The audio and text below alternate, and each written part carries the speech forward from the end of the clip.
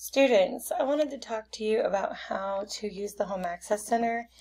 Notice I'm here on the page and sometimes I have to hit refresh a couple of times. If it does say that you cannot access that page, if you get a little warning, just hit refresh a few times and it should pop up just fine. So I'm going to sign in here.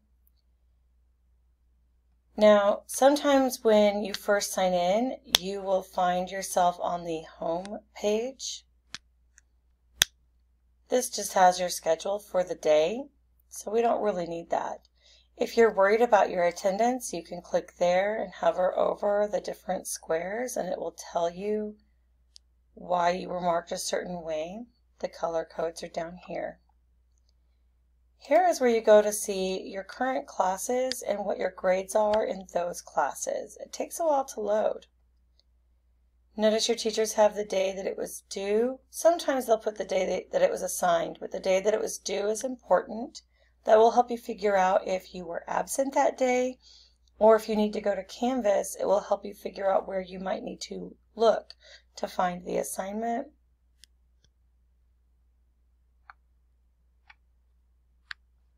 If you see a bubble like this, it means there's a comment from your teacher. Make sure you hover over that.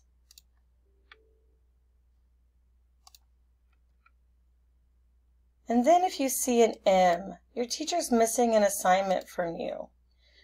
Go back and see what the assignment was called. You can look again at the due date or the date that it was assigned to try to find it on Canvas. Once you do that assignment on Canvas, you need to message your teacher. See, these are missing as well. You need to message your teacher and let them know that you've turned it in. Teachers do not get notified when students turn in late work. So make sure you're letting them know. And that's how you're going to be able to keep track of your grades the best. Another place you might want to look is grades. Sometimes kids go here thinking they'll find their grades, but really that just has your report card and your progress report. Okay, you can also see like star scores and stuff like that. So that one's kind of confusing to look at.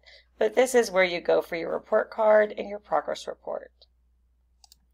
Remember again, classes is where you go to keep track of your current assignments and what is due.